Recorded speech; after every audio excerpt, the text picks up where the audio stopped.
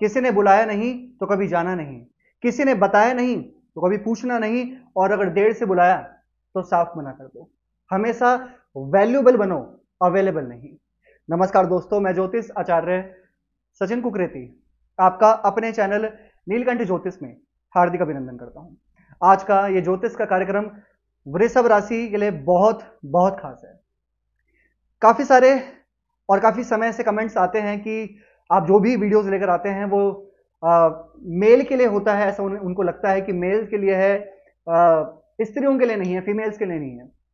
आज दोस्तों हम जानेंगे वृषभ राशि की जो फीमेल होती हैं जो स्त्रियाँ होती हैं। आज हम उनके बारे में आ, विचार करेंगे कि कैसी होती हैं वृषभ राशि वाली फीमेल्स क्या गुण है क्या व्यवहार है क्या नेचर होता है उनका वृषभ राशि के बारे में सब कुछ जानेंगे।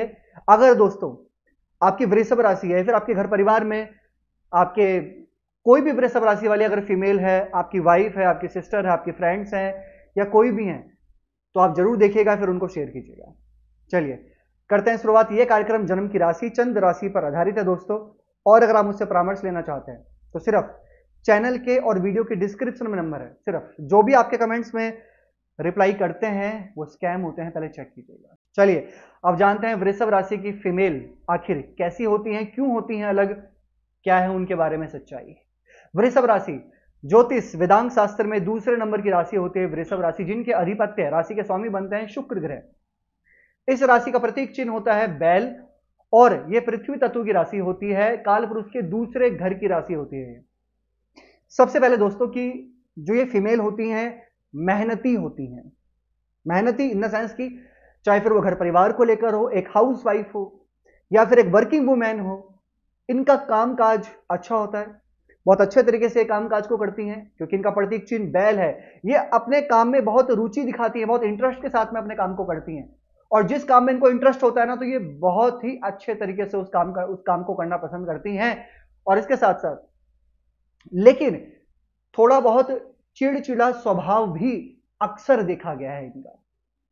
अक्सर ऐसा देखा गया है कि अगर किसी ना किसी बात से ये जल्दी से चिढ़ जाती हैं, ऐसा भी अक्सर देखा जाता है। बोलने की कला बहुत अच्छी होती है इनके अंदर क्योंकि दूसरे घर, दूसरा घर होता है, वृषभ राशि दूसरी राशि है तो कालपुरुष की कुंडली में दूसरा घर होता है हमारी वाणी का। तो इनकी वाणी से लोग बहुत अट्रैक्ट हो जाते हैं। इनकी जो भी वाणी होती है उससे काफ़ी अट्रैक्शन मिलता है, चाहे फिर वो कहीं पर भी हो वर्किंग प्लेस में हो स्कूल में हो, जिसकी वजह से इनके साथ काउंसलिंग जैसा फ़ील्ड काफ़ी अच्छा रहता है। काउंसलिंग हो कंप्यूटर हो डिज़ाइनिंग हो, चमकती दमकती चीज़ें हो इंटीरियर हो, या फिर ऑनलाइन काम हो फोटोग्राफी हो वीडियोग्राफी हो, ये काम इनके लिए अच्छे रहते हैं और इसके साथ साथ अपने परिवार का भी सपोर्ट करने वाली होती हैं, अपने परिवार को बहुत ज़्यादा मानती हैं और इनके अंदर एक प्रवृत्ति होती है कि सेविंग्स करनी है सेविंग्स करनी है। अपने फ्यूचर को लेके बहुत ज़्यादा सोचते हैं ये लोग मतलब जो फीमेल है वृषभ राशि वाली। अपने फीमेल अपने फ्यूचर को लेकर बहुत ज़्यादा सोचती हैं कि फ्यूचर में क्या होगा। अपने करियर को लेकर बहुत ज़्यादा ये सीरियस रहते हैं, लेकिन अनसेटिस्फाई भी रहते हैं।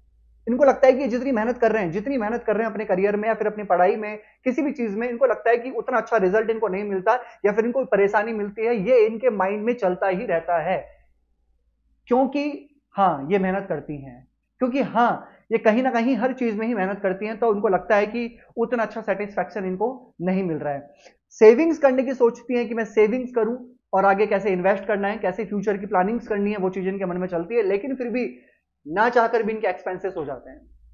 वृषभ राशि के मालिक शुक्र है तो जो ये स्त्रियाँ हैं, इनको नाचना या फिर गाना या फिर राइटिंग या फिर पेंटिंग जैसी चीज़ों का शौक रखने वाले भी होते हैं और एक अच्छा पहनना अच्छा खाना अच्छा बन के रहना, अच्छे कपड़े, ब्रांडेड चीज़ों का शौक भी होता है। घूमने फिरने का काफ़ी शौक होता है इनको, क्योंकि शुक्र है भाई, शुक्र को कलात्मक चीज़ें ज़्यादा पसंद होती हैं। घूमना, फिरना फोटोग्राफी वीडियोग्राफी ये सब चीज़ें इनको पसंद होती हैं।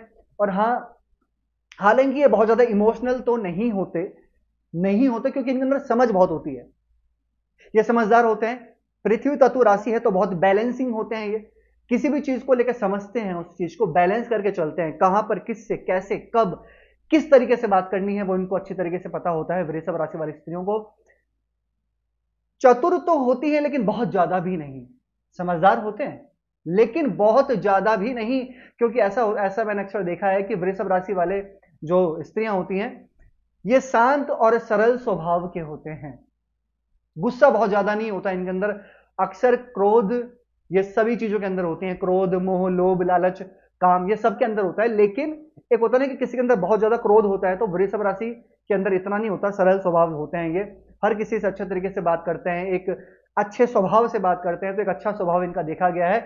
जिसके साथ भी मिलते हैं, जिसके साथ भी बात करते हैं ना तो एक अपना, अपनापन तरीके से बात करते हैं। कोई बहुत ज़्यादा बहुत ज़्यादा एटीट्यूड या बहुत अहंकार नहीं देखा गया है इन स्त्रियों के अंदर। ये बताया दोस्तों मैंने कि वृषभ राशि वाली जो फीमेल होती हैं, वो कैसी होती हैं? क्या उपाय करना चाहिए आपको?